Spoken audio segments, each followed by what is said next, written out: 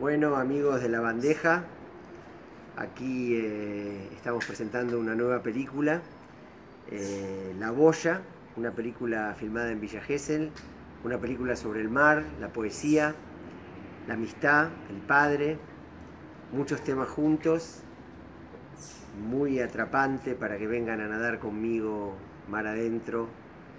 y para que puedan vivenciar la experiencia de la expresión artística que es lo único que nos va a salvar. Y bueno, supongo que recordarán, el año pasado eh, hicimos una nota alrededor de rock and roll, Fito Páez, Luis Alberto Spinetta, gente con la que tuve el honor y la suerte de cruzarme haciendo películas. Y ahora, bueno, una película con un amigo que es desconocido, pero que encarna el amor por el mar, por la poesía, y una mirada sobre la vida que es muy hermosa y que los invito a compartir. A partir del 6 de diciembre, La Boya en el cine.